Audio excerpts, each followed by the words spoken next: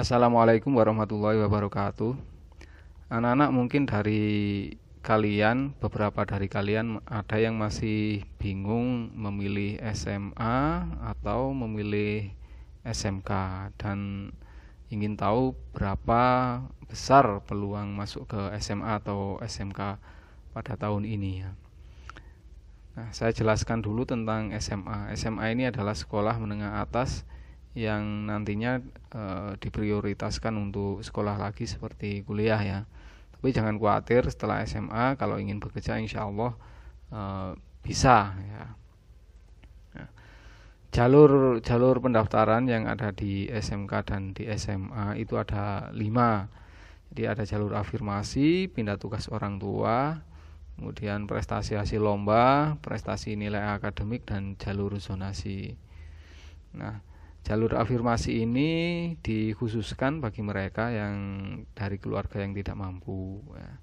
Kemudian pindah tugas orang tua bagi mereka yang mengikuti orang tua karena pindah tempat bekerja. Ya. Kemudian prestasi hasil lomba ini jalur khusus bagi mereka yang punya uh, juara lomba-lomba tertentu.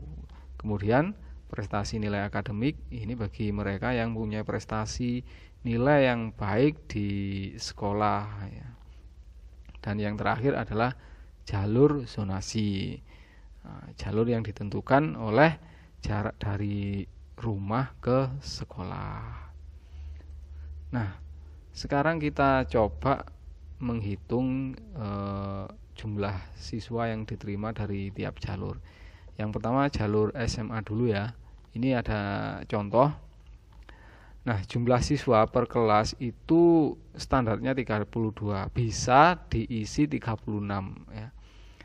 Jika jumlah kelasnya itu 10, jadi bisa kalian cek nanti di sekolah tujuan kalian itu jumlah kelasnya berapa. Kalau misalnya ada 10, maka pagunya 36 kali 10. Hasilnya adalah 360. Nah, jadi 360 ini adalah uh, daya tampung maksimal sekolah menampung uh, peserta didik baru. Pembagiannya untuk afirmasi itu 15%, pindah tugas orang tua ini maksimal ya 5%. Kemudian prestasi hasil lomba maksimal 5%. Prestasi nilai akademik itu maksimal 25% dan jalur zonasi untuk SMA itu minimal 50%. Maksimalnya berapa? Maksimalnya ya otomatis 100%. Kita hitung dulu 15% eh, dari 360 itu adalah 54 siswa. Nah, pertanyaannya bagaimana kalau lebih dari 54 siswa mendaftar di jalur afirmasi semisal 60 ya. Jika lebih dari 54 siswa otomatis sisanya akan gugur ya.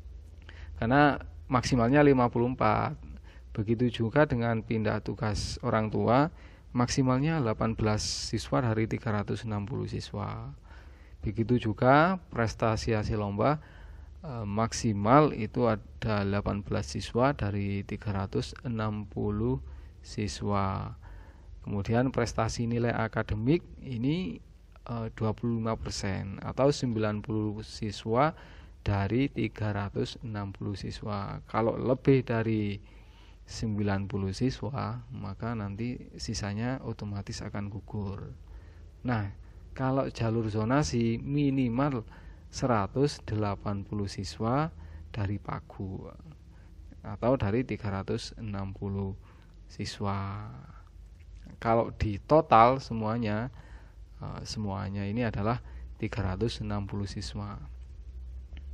Nah, bagaimana kalau tidak ada yang mendaftar di jalur afirmasi, pindah tugas, prestasi hasil lomba dan prestasi nilai akademik? Maka semuanya akan dialihkan ke jalur zonasi. Otomatis zonasinya 100% itu untuk jenjang SMA sekarang kita lihat untuk SMK Nah, SMK ini adalah sekolah menengah kejuruan yang nantinya diprioritaskan untuk bekerja. Tapi jangan khawatir, walaupun ingin kuliah juga bisa. Setelah SMK ingin kuliah juga bisa. Ya. Jalur pendaftarannya sama dengan SM, SMA ya. Jenjang SMK, pagunya misalnya 360 ya untuk afirmasi, pindah tugas dan prestasi hasil ini sama dengan SMA. Bedanya ada di prestasi nilai akademik. Ini lebih besar kalau SMK sebesar 65% minimal ini ini 65% berarti minimal ada 234 siswa yang akan diterima di SMK sedangkan zonasi dibatasi hanya 10% dari pagu atau 36 siswa. Nah, jika ditotal semuanya, maka hasilnya akan menjadi 360 siswa. Nah, kalau afirmasi pindah tugas orang tua dan prestasi hasil lomba dan sunasi ini tidak ada yang memilih di jalur ini, maka semuanya akan dialihkan ke prestasi nilai akademik nah, karena dialihkan ke prestasi akademik maka nanti syaratnya adalah rapot semester 1 sampai dengan semester 5 bukan lagi jarak. Kalau jarak itu zonasi. Ya. itu di SMK ya. Nah kesimpulannya apa? Kesimpulannya kalau mendaftar ke SMA itu seleksinya menggunakan zonasi.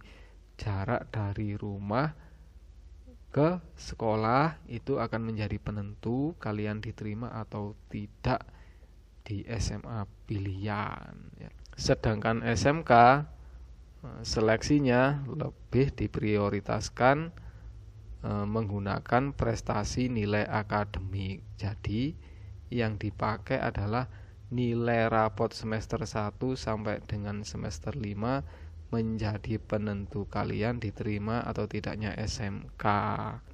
Sekarang kalian bisa milih ke SMA atau ke SMK. Kalau SMA lihat saja itu menggunakan zonasi ya, minimal 50% maksimal 100%. Kalau SMK itu menggunakan nilai uh, prestasi akademik kalian yaitu rapot dan akreditasi sekolah minimal 65% maksimal uh, eh, 100%.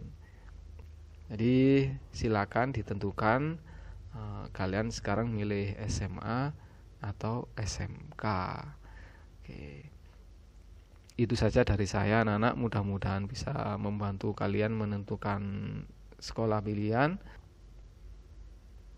ada kurang lebihnya mohon maaf. Assalamualaikum warahmatullahi wabarakatuh.